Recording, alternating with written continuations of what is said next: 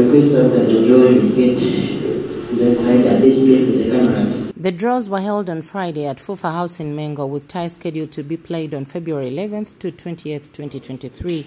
BUL reached this stage after knocking out Sparks with Hilary Onek scoring the only goal of the game in a game played at Chirondo Playgrounds in Mukono. Villa, on the other hand, eliminated Kampala Regional League side Kireka United with a 6-0 at Kings Park in Bwegere. Hassan Musana scored a brace, Charles Bale, Edward Masembe, and an own goal sealed business for the Jogoos. Black Power will welcome Wakiso Giants in the other all UPL tie.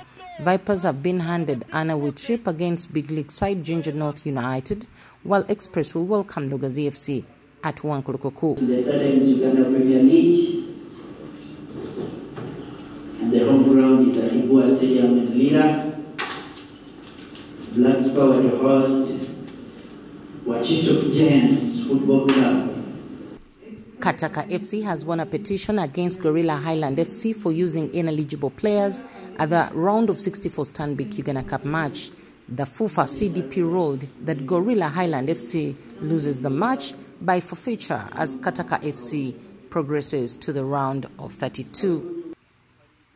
Another case has dismissed Arua Hills petition against Elite FC that knocked them out of the Stanbic Uganda Cup.